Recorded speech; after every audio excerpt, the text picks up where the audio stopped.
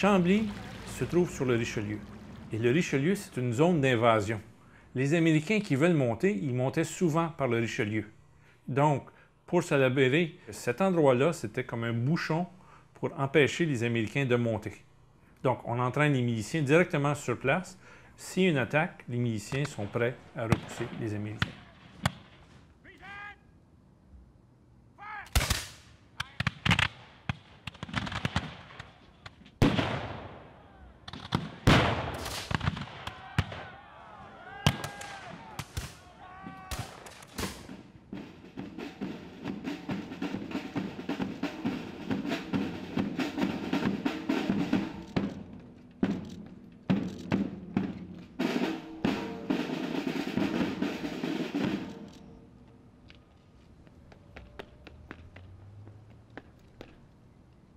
C'est le premier régiment canadien-français. Euh, le fondateur du régiment est le fils de Salaberry, qui a poursuivi la même tradition avec euh, la même devise, les mêmes euh, armoiries, l'insigne que l'on porte, la devise Force superbe, merci affable. C'est la devise de, la famille Salaberry. Donc le lien est, très étroit au niveau familial, si vous me permettez, mais aussi au niveau de la tradition de citoyens-soldats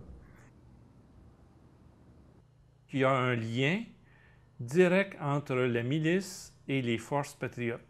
Comment les leaders patriotes sont, devenus leaders au point de vue militaire? C'est qu'ils avaient servi dans les milices, soit en 1812, soit après. Louis-Joseph Papineau, né en 1786, était tout jeune en 1812.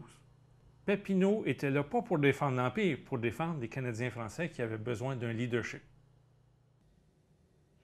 La passion de Papineau, à mon avis, c'est la mise en place de systèmes démocratiques. Pour lui, euh, le pouvoir appartient au peuple. Et euh, un aspect important de Papineau aussi, c'est que, bon, il a été en lutte souvent contre les Britanniques, mais en même temps, il a toujours eu beaucoup d'admiration pour le système parlementaire britannique.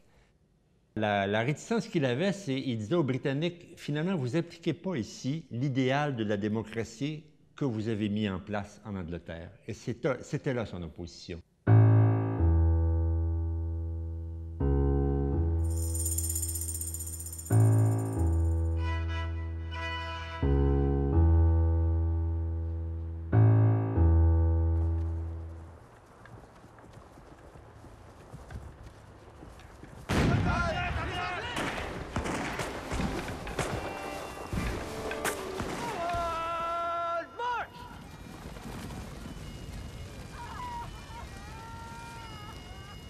La guerre de 1812, ça a formé des leaders. Quand on parle de Giroir, de Pepino, de Nelson, il y en a plusieurs autres.